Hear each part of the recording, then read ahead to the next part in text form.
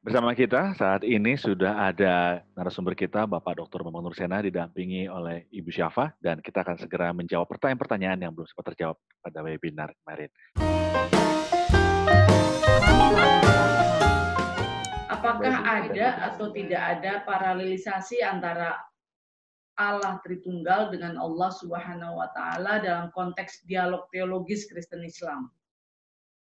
Begini, kalau ya kesebutan Allah Subhanahu wa taala itu kan seperti sebutan bahasa Arab ya.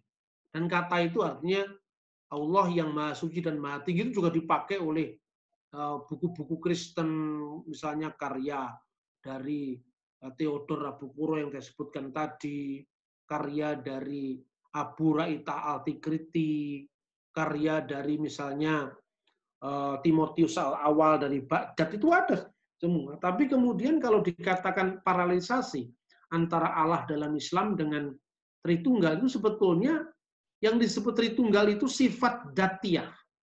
Sifat datiah itu artinya uh, begini. Jadi sifat yang menunjuk kepada self-nya Tuhan.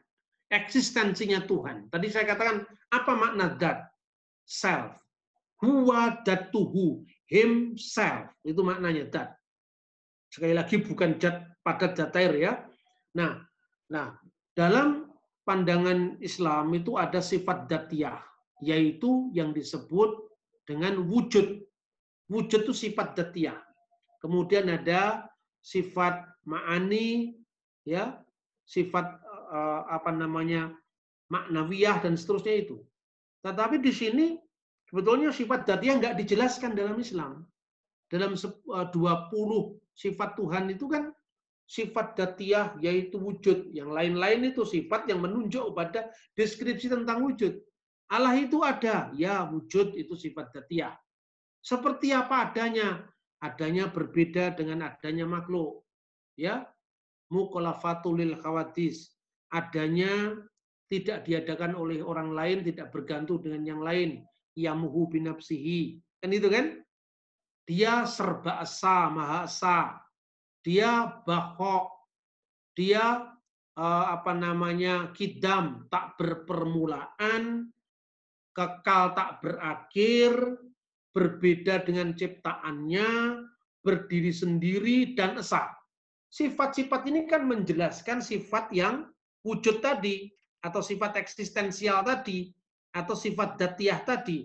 Nah di Kristen, sifat datiah itu dinyatakan diwahyukan, diwedarkan. Dalam ilmu kalam misalnya, Tuhan itu uh, maha berbicara kalam. Ya. Tuhan itu maha uh, melihat basar.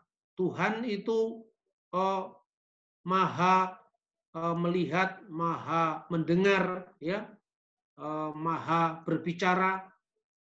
Kenapa Tuhan maha bicara? Kenapa Tuhan melihat? Kenapa Tuhan mendengar? Mendengar, melihat, bicara itu kan sifat orang hidup. Ya kan? Di Islam hanya dijelaskan Tuhan maha mendengar, Tuhan maha melihat, Tuhan maha eh, apa namanya hidup, gitu Bukti dari hidup, lihat, mendengar. Di Kristen Kenapa Tuhan hidup? Ya karena ada roh.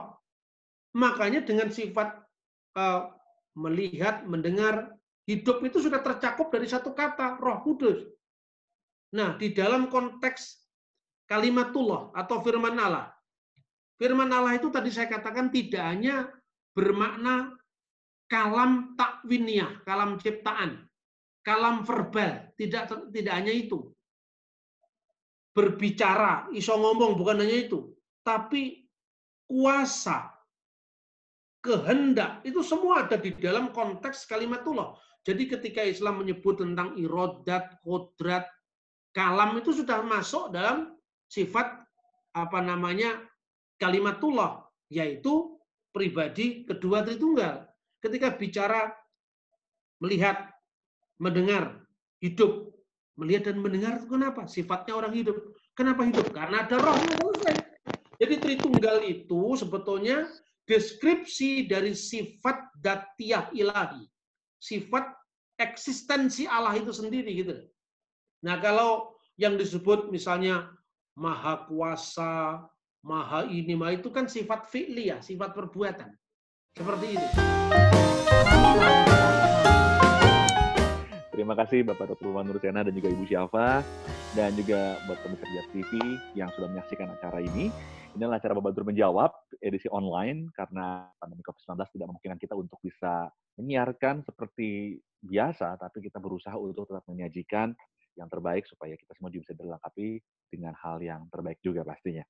Anda bisa mengikuti webinar Pijar TV setiap hari Kamis. Ya, setiap hari Kamis itu jam 7 malam kita selalu mengadakan webinar. Dan Bapak Ibu Saudara sekalian bisa di nomor telepon yang tertera di layar, atau Bapak Ibu juga bisa daftarkan diri Anda melalui link bit.ly garis miring dialog lintas iman ya. Bit.ly garis miring dialog lintas iman.